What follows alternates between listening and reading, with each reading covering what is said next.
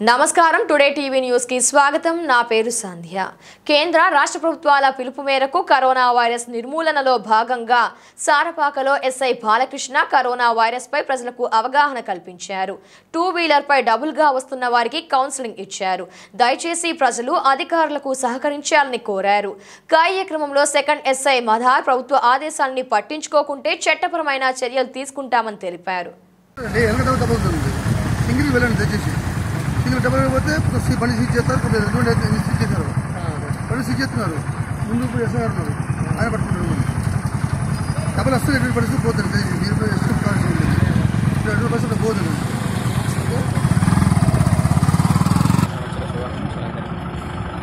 ముఖ్యంగా ఈ మొన్న ఇరవై ఒకటి నుండి రాష్ట్ర ప్రభుత్వం కానీ నిన్న కేంద్ర ప్రభుత్వం కానీ కరోనా వైరస్ నిర్మూలనలో భాగంగా దేశం మొత్తము లాక్డౌన్ ప్రకటించడం జరిగింది.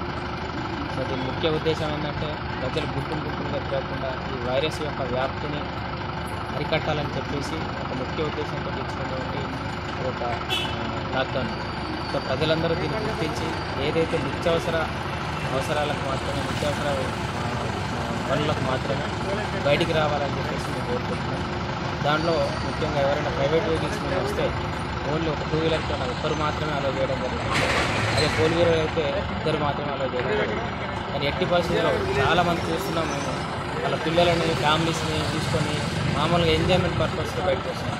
సో ఇటువంటివి జరిగితే మాత్రం ఇప్పటి వరకు మేము పదిహేడు వెహికల్స్ చేయడం జరిగింది.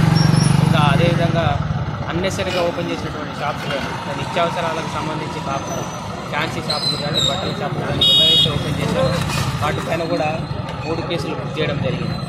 సో ఈ విధంగా ప్రతి ఒక్కరు కూడా గమనించేది ఏంటంటే ముఖ్యంగా యువత క్రికెట్ మైదానాలలో ప్లే గ్రౌండ్స్లలో విపరీతంగా జట్లు జట్టుగా కలిసిపోయి క్రికెట్ ఆడడం ఆటలు ఆడడం సో మా నుండి మేము కోరేది ఏంటంటే అసలు దీని యొక్క లాక్డౌన్ యొక్క ముఖ్య ఉద్దేశాన్ని గమనించి ఎందుకు ఇచ్చారనేది గమనించాలి అంతేగాని ఇది వేసవి సెలవులు కాదు లేకపోతే ఇంకా సెలవులు కాదు.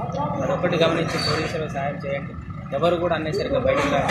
వస్తే మాత్రం నిర్మమాటంగా ఫ్యామిలీ అయినా లేడీస్ అయినా ఏ వయసు వాళ్ళైనా నిర్బంధం నిర్బంధించి ఇక్కడ వెహికల్స్ అని సీజ్ చేయడం నిర్దాక్షిణంగా ఇక్కడ వెహికల్స్ అనేది సీజ్ చేసి ఇక్కడ ఇంటికి నడిచి పంపడం జరుగుతుంది.